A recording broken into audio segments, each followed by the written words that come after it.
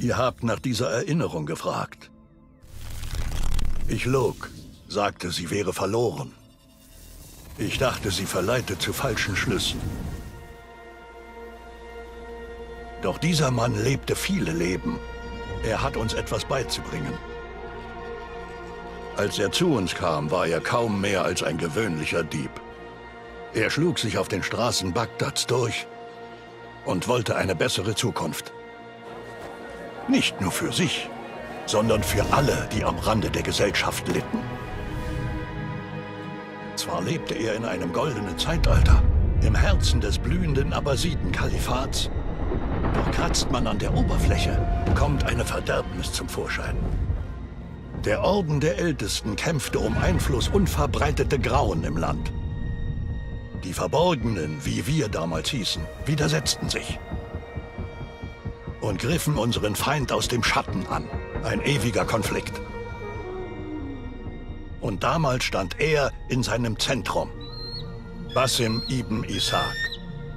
Er folgte dem Credo. Er hinterfragte es. Das müssen wir auch. Wir alle können die Schatten, in denen wir wandeln, für das Licht halten, dem wir dienen.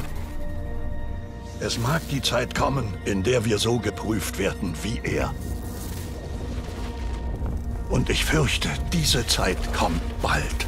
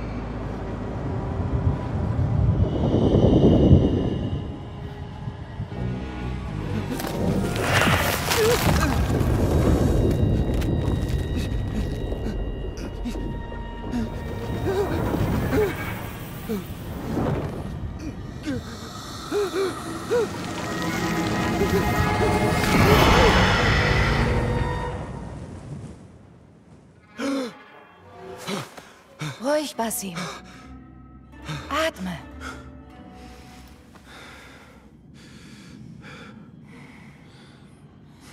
War es wieder der Djinn? Und was wollte unser Freund diesmal? Mir das Fleisch von den Knochen reißen? Meine Eingeweide fressen? Er spricht nie viel, doch er hinterlässt Spuren. Ich kann ihn immer noch auf meiner Haut spüren. Nicht sehr originell. Das solltest du ihm mal sagen.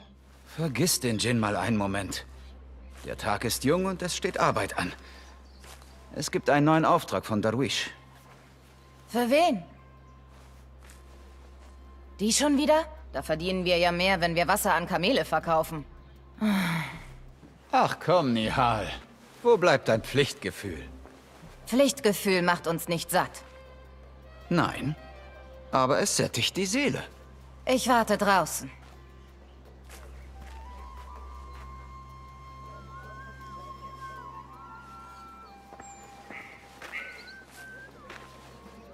Billiger Schmuck und angelaufene Münzen. Die Schätze eines Gaunerlebens. Komm in die Hufe, Basim. Ich sagte Nihal, wir könnten das niemals verkaufen, als sie es stahl. Doch sie konnte nicht widerstehen. Ich frage mich, was sie an diesem alten Plunder nur immer findet. Die Sonne wirft lange Schatten. Lassen wir Dawish nicht warten. Noch eine Standpauke ertrage ich nicht.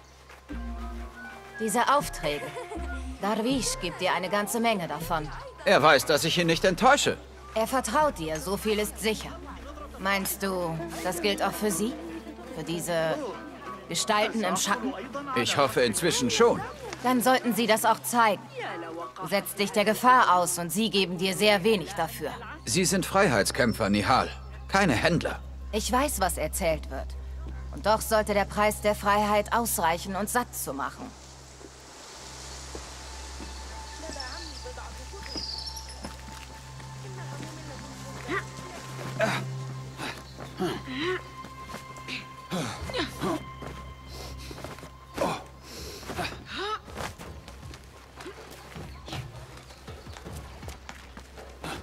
Uh.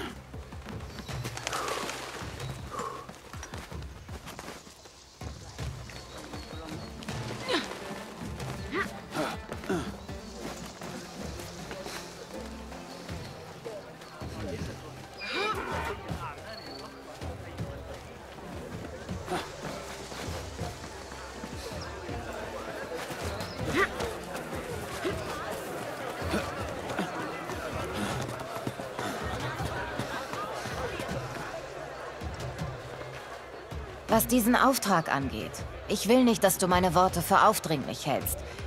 Ich sorge mich nur um dich, Sadiki. Es ist nicht lästig, sich gegen unsere Unterdrücker zu wehren, wie es die Verborgenen tun. Hältst du dich für den Helden von morgen? Den nächsten Gilgamesch? Nein, ich bin nur der Sohn eines Staatsdieners, der sein Leben der Verbesserung des Lebens seines Volkes verschrieben hatte, um dann erniedrigt und vergessen zu werden. Doch es schmeichelt mir, dass du mir solche Größe zutraust. Ich kann mich nur bemühen. Das habe ich so ganz sicher nicht gemeint. Ich habe es so verstanden.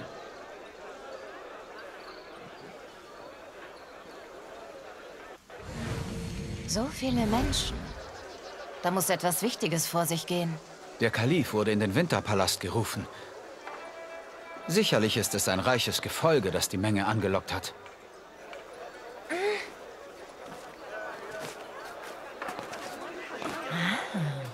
Vielleicht sind Sie in Stimmung, etwas zu spenden.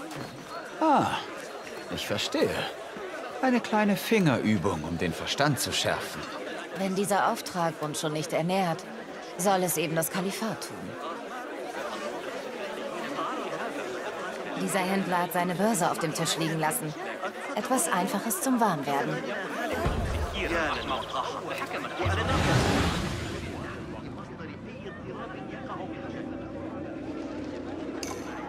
Und jetzt weg, ehe jemand was bemerkt. Komme her! Mach dich bereit. Ich wähle sie aus. Ein scharfes Auge und eine geschickte Hand. Ein vortreffliches Paar.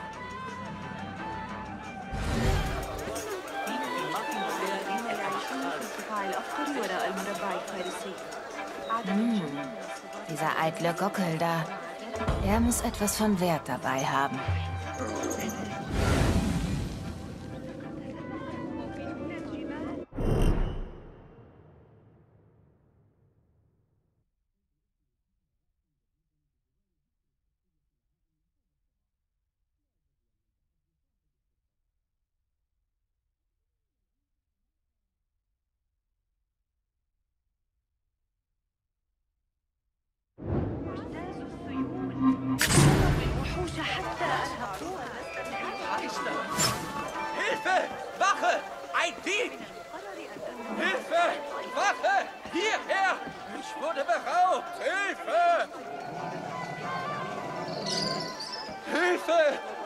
Taschendieb hat mein Silber gestohlen. Kommst du jetzt hierher zurück? Sicher.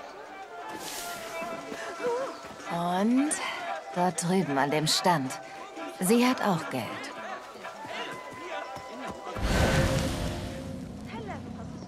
damit auf, bitte. Na, daneben. Auf! Seid ihr Hilfe! Hier drüben! Hilfe! mir!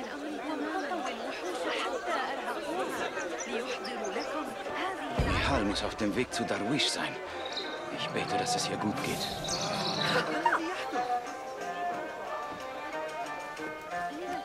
Für die Wachen des Kalifats reicht der kleinste Vorwand, um unser Eins in Eisen zu legen.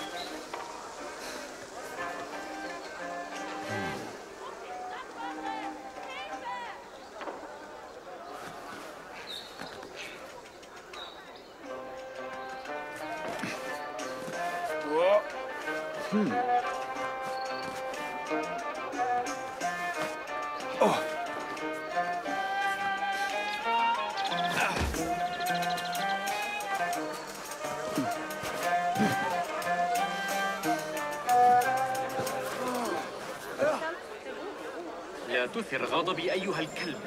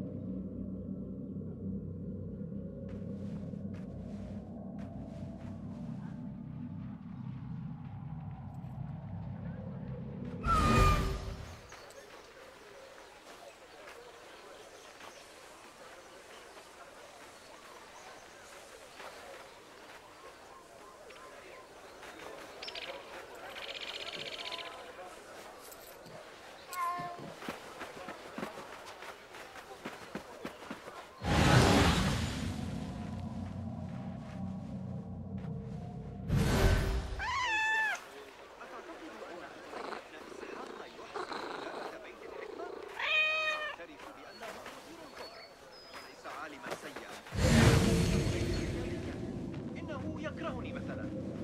الطريقة التي قطع بها النفقة عن دراستي حول صغار الجن المزيد عن ذلك لا أشكك فيه لكنهم بالتأكيد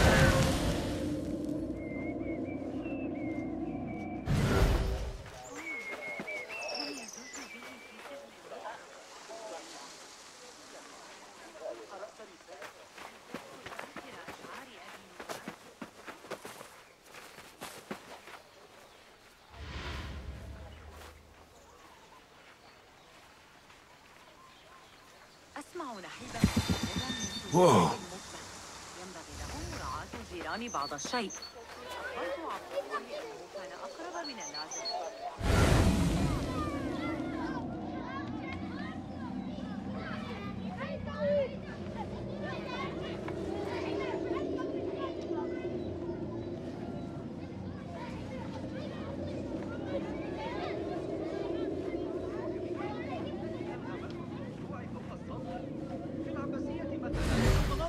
أعلى الطرق والقنوات الأنيقة تخطف الأنفاس.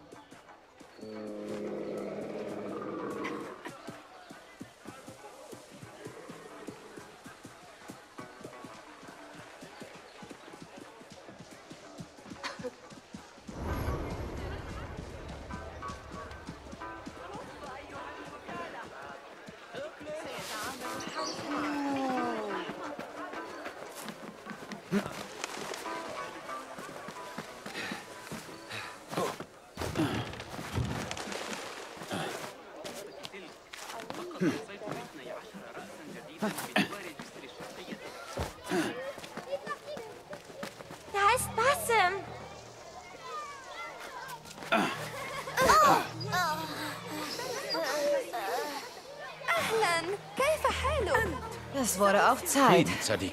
Nimm Fahmi! Bassem, der Kalif ist gerade mit seinem Hofstadt angekommen. Hast du sie gesehen? Habe ich nicht. Aber dafür einige seiner Händler auf dem Marktplatz. Ich war ganz nah dran. El Mutawakil ist viel, viel größer, als ich gedacht hatte. Ein wirklich riesiger Mann. Kein Wunder. Er schlägt sich den Bauch voll mit Speisen und Gewürzen, die wir, wenn wir Glück haben, einmal im Leben kosten können. Ich hörte Gerüchte über einen wichtigen Besuch. Aber ich kann nicht sagen, von wem. Ich habe Geheimhaltung geschworen. Lass mich raten. Von Halla, der Tochter des Palastwächters. Was? Woher wusstest du das? Ich weiß, wo du wirklich hingehst, wenn du sagst, dass du Wasser holst. Sie ist gütig. Dir eine gute Freundin. Und eines Tages vielleicht mehr. Ah, Bassem. Ich meine es ernst. Sie wird dich von Ärger fernhalten. Das würde dir gut tun. Bis dann, Fahmi. Es wurde auch Zeit. Nimm ein Bad, dann fällst du den Wachen.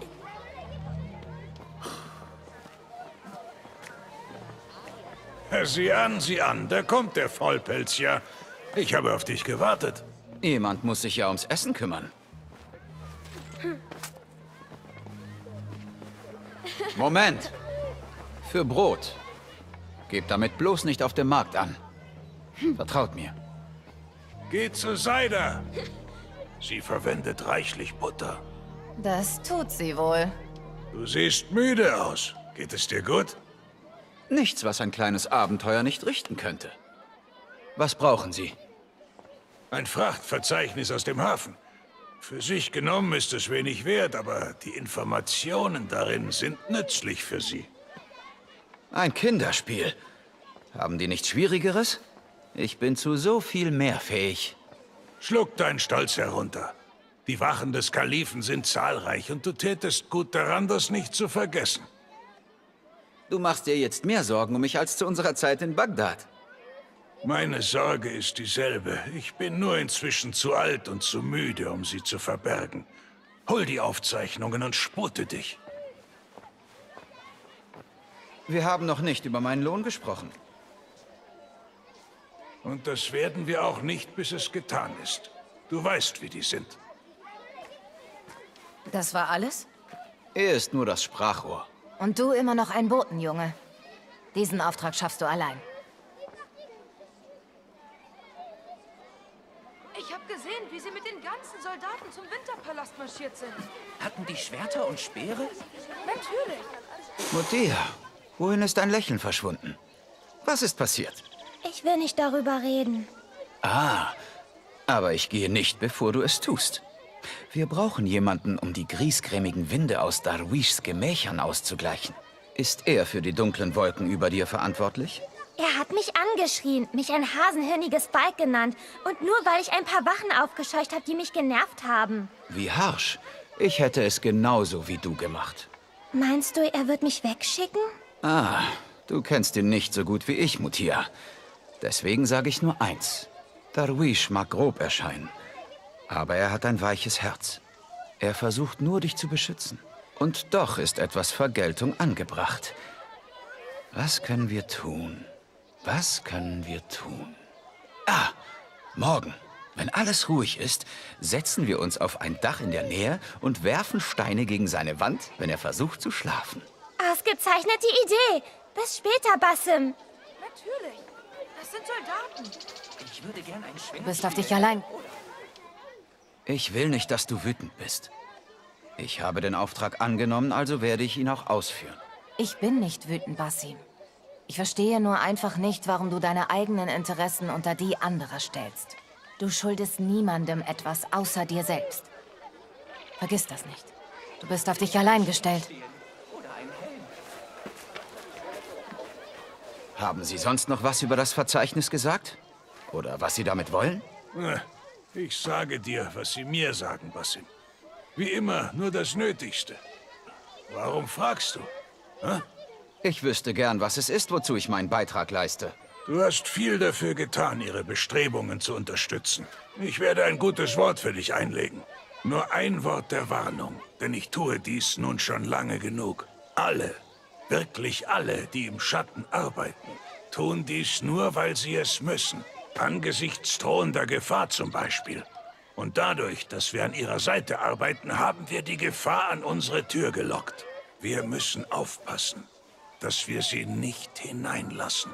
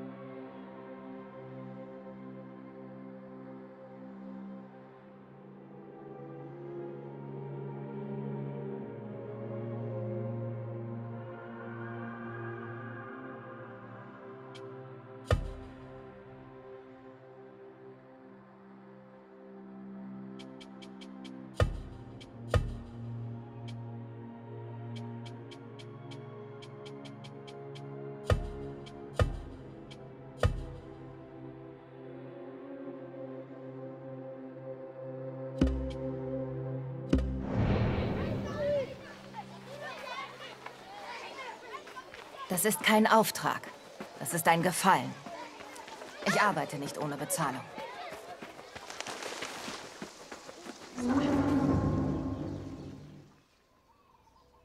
Wie viele haben wir letztendlich bekommen? 16 Kisten, eine Truhe, ein halbes Dutzend Beutel. Als ich das letzte Mal nachgesehen habe, fehlten nur noch drei Kisten. Gib Ihren Leuten Zeit bis morgen Abend. Wenn sie bis dahin nicht da waren, müssen wir davon ausgehen, dass sie ihre Waren vergessen haben. Öffnet sie. Behaltet, was uns gefallen könnte, und entsorgt den Rest. Warte hier. Was?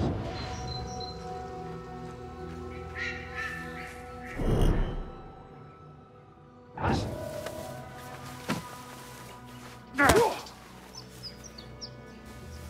Wenn ich gesehen werde, muss ich fliehen. Gut, dass ich schneller bin als die behäbigen Wachen.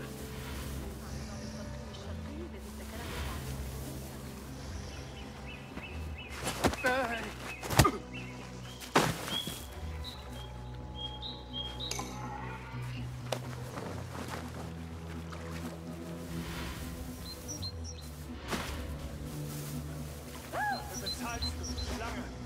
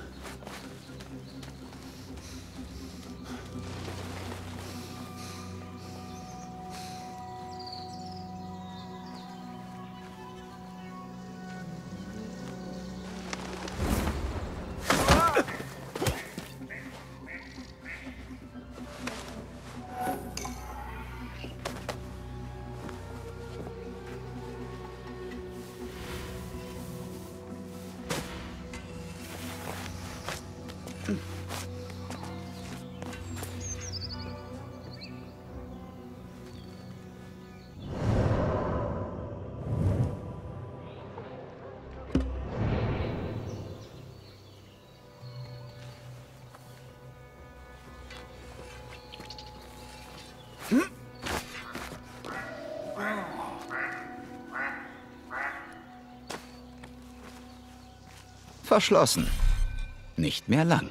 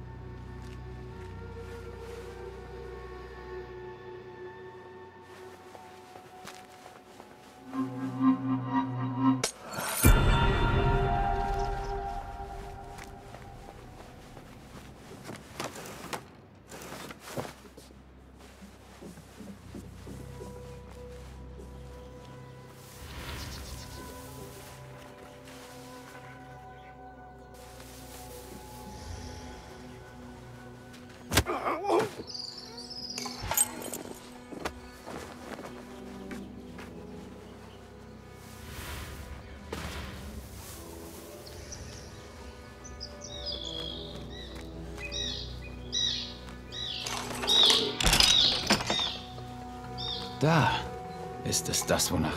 Ich frage mich, welche Geheimnisse das Verzeichnis birgt. Vielleicht bekomme ich den alten Grieskram dazu, unserem Kontakt etwas zu entlocken.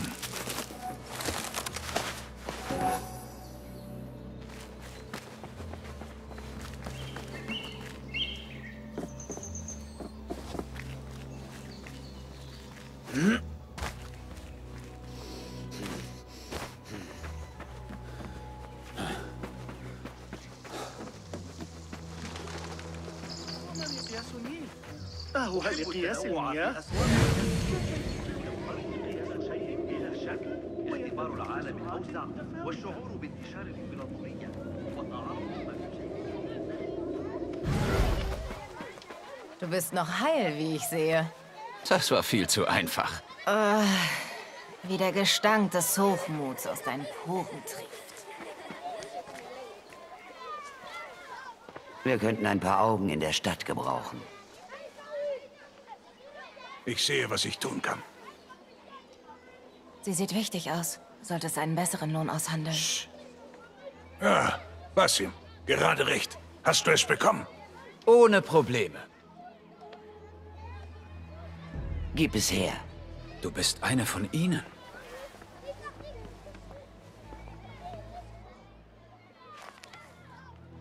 Da. Anscheinend wurde sie heute Morgen geliefert. Sicher, dass es die gesuchte Truhe ist? Absolut sicher. Bezahl den Burschen. Wenn was gestohlen werden muss, bin ich euer Mann. Darwish kann das bestätigen. Er hat mir all eure Aufträge gegeben. Dann hast du deinen Teil getan. Ich kann mehr tun. Zwei meiner besten Männer starben dabei. Einem Straßendieb wird es wohl kaum besser ergehen. Dann heuert mich an. Ihr habt zwei offene Stellen.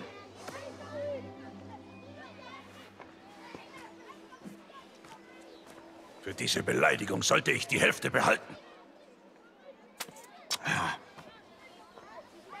Danke, Darwish. Hör zu, Basim. Wenn du weiterhin für mich arbeiten willst, dann sei unauffällig und halte die Klappe.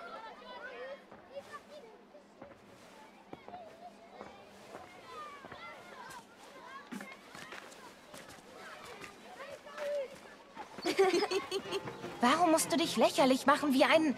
Ein was? wie ein Bettler, der verzweifelt nach Aufmerksamkeit heischt? Verzweifelt? Ich bin gut in dem, was ich tue. Diese Frau sollte sich glücklich schätzen, mich dabei zu haben. Sie will dich aber nicht. Du bist ein Straßendieb mit schmutzigen Füßen. Warum bemühst du dich? Warum willst du diesen Weg erzwingen? Weil ein Straßendieb zu sein nicht mein Lebensziel ist. Ich habe der Welt mehr zu bieten als meine flinken Finger. Sie hat es nur noch nicht erkannt.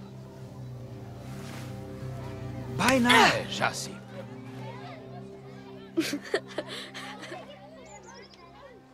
Was ist das? Ah, das ist meine neueste Schöpfung. Damit kann ich wütende Händler abwehren, wenn sie mich beim, äh, Wühlen in ihren Waren erwischen. Ein Glück, dass ich verschont wurde. Du riechst übel. Was ist das? Ah, wir haben von früh an im Hafen geangelt, hatten aber kein Glück. Am Hafen? Hast du irgendeine Art Aufregung wegen einer Truhe mitbekommen? Hm. Ah, ja, eine schwarze. Ein sehr schönes Stück. Ein paar kräftige Wachen brachten sie zum Palast. Du hast mir sehr geholfen, Jassib.